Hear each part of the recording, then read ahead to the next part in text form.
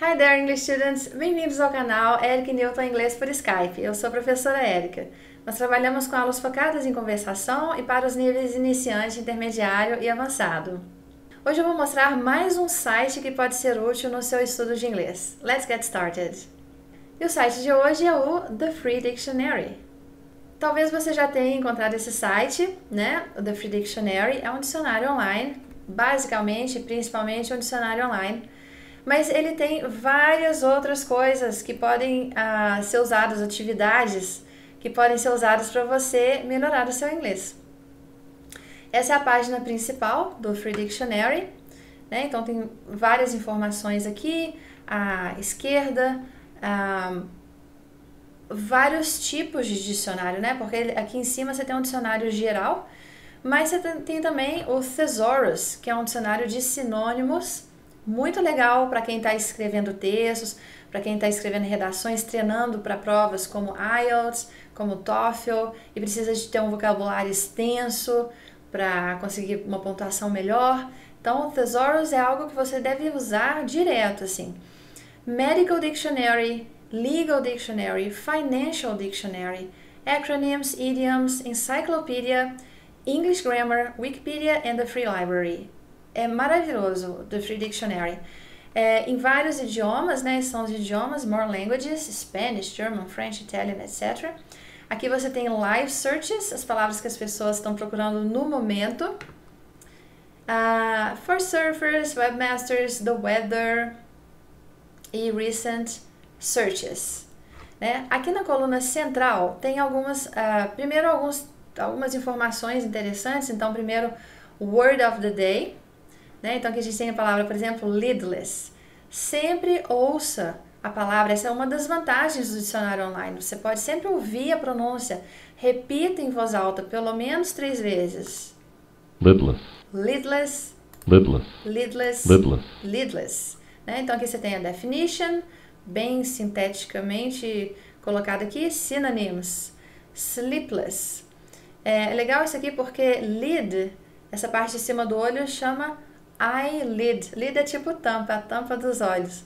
Então, lidless é sem a lid, ou seja, com o olho aberto. E o sinônimo é sleepless. É, esse, as duas palavras é, têm o sufixo less, que é menos, sem. Né? Então, sleepless, sem dormir, né? De é, vigília, de forma acordada.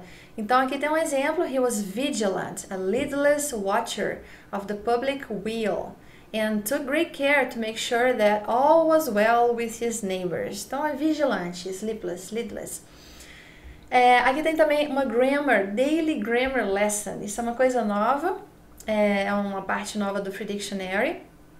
E aqui está falando sobre defining aspects of the present tense. É tudo em inglês, né? Ah, então, por exemplo, the present, você pode ler só o comecinho, só para refrescar sua memória e rever o segredo do aprendizado do inglês está na revisão, na repetição. Né? The present tense is combined with four traditional aspects to form the structures that are known as the present simple, the present continuous or present progressive, the present perfect, and the present perfect continuous. Although these structures are generally taught as individual tenses of verbs, what are, are they? What are they actually okay what are they actually so you can click here and see more and discuss let's click here and see more uh, tá vendo como é que é interessante isso aqui então um resuminho com é, explicando cada tempo verbal os exemplos e tem um quiz nossa muito bom esse aqui é novo não conhecia formidável ok vamos voltar aqui depois do Daily Grammar Lesson, a gente tem the Article of the Day, artigo do dia. Esse aqui é sobre o Sir Thomas Phillips and his multitude of books. Então, você pode só ler essa introdução ou, se tiver condições, clica no More e continua lendo, né? Então, aqui o comecinho fala An English antiquary and book collector, Phillips amassed the largest collection of manuscript material in the 19th century. He suffered from severe bibliomania, an obsess obsessive compulsive disorder involving the collecting or hoarding of books, and spent much of his inherited fortune expanding his holdings, which ultimately contained some 100,000 books and manuscripts and was arguably the largest collection amassed by a single individual. How long did it take to disperse the works after his death? Sempre tem uma perguntinha assim para você continuar é, lendo o artigo. This day in history, the Battle of Jargeau begins. Begins. Uh, today's birthday, Joseph Warren. Quotation of the day: I am envy. I cannot read and therefore wish all books burned. Interesting. E aí a gente tem alguns exercícios legais aqui no Free Dictionary. O primeiro é o mismatch. Mismatch. É um exercício difícil porque é, lida com palavras sinônimas, um vocabulário mais sofisticado. Então o que você faria aqui é associar as duas colunas. Então, uh, vamos tentar fazer isso aqui. É, o que está sendo pedido é match each word in the left column with its antonym, é o oposto. É, on the right. When finished, click answer to see the results. Good luck. Então, por exemplo, avarice, the opposite of avarice is generosity, né? Conceit, eu acho que é humbleness, influx, outflow, immersion, egress, immoderation, moderateness. Let's see how many answers. Oops. 100% correct.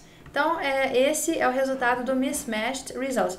E que vocês podem ver que tem, para cada palavra, tem uma definição bem curtinha e simples. Os antônimos, de novo, muito importante para quem está se preparando para a prova de IELTS e TOEFL. Né? Na hora da redação, é muito importante tentar usar palavras diversas, assim, né? E o uso, né? Uma frase onde a palavra aparece. Muito importante para ter uma referência, né? De como é que a palavra é usada. Uh, my Bookmarks, uh, outros joguinhos, Hangman, que é o joguinho da forca, né? Então aqui sem nenhuma dica nem nada, você vai colocando lá as letras, eu gosto de colocar as vogais primeiro. Uh, a, E, I, O, U. Uh, R, S, T, do you know what this word is? Scotia. Scotia. Scotia. You won in 10 guesses. Era para ter definição de Scotia aqui, não, né? Nova Scotia, Escócia. É, oh, learn the word. Abrindo uma nova guia aqui. Learn the word. Então você pode aprofundar seu conhecimento com a Scotia. Ah, acho que eu tenho que clicar direto. Learn the word. Scotia. Então, esse Free Dictionary é excelente, um dicionário excelente. Você pode ouvir a gravação no inglês americano. Scotia. E britânico. Scotia. Scotia, né? A medieval and poetic name for Scotland. É a Escócia mesmo, é um nome poético e medieval da Escócia. Voltando para a página inicial do Free Dictionary. É, então, a gente tem o Grammar Quiz, Which of these adverbs has an irregular superlative form? Irregular superlative form. The fastest. Opa, no, uh, this one? Yes, badly, correct. Spelling bee. Spelling bee é um ditado. Você define primeiro nível, o easy já é difícil. Aqui você pode uh, ouvir. Ultra modern. E é um adjetivo e a definição: extremely modern in ideas or style, completely up to date. Again? Ultra modern. I think it's ultra modern. Answer. There you go. Yes. Match-up. O match-up é o contrário do mismatch. O mismatch pede antônimos e o match-up pede sinônimos, né? Então, são palavras muito difíceis. É, é mais ou menos baseado no conhecimento que você tem do português até. Então, luxuriant, uh, eu acho que é o lush, tyrannical, oppressive, uh, despondent, heartsick, nettlesome, pesky, cheap, jack, shoddy. Let's answers. Correct. Então, de novo, aqui a gente tem a palavra com as definições, os sinônimos e o usage, né? Para ver como é que a palavra é usada numa frase. É, e Welcome to World Word Hub, que é a formação de palavras. Uh, today's Holiday, Trinity Sunday. Uh, and that's it. And idiom of the day. O Free Dictionary tem um canal no YouTube, esse aqui com os videozinhos para ensinar certas estruturas. No vídeo de hoje, é a estrutura have something going for one, for someone. To have something going for someone, né? To have something that is favorable, beneficial or advantageous to one. Uh, então aqui tem um vídeo. Quando a gente clica no vídeo, você pode ir lá direto pro canal deles no YouTube. A gente já segue o canal deles. E é isso aí. Very nice. É... Então é isso aí por hoje. Espero que vocês tenham gostado da dica de hoje, da Free Dictionary. Usem e abusem do Free Dictionary. Thanks for watching. Se tiverem gostado do vídeo, deem um like, compartilhem com os amigos, assinem o canal. Practice every day and I'll see you next time.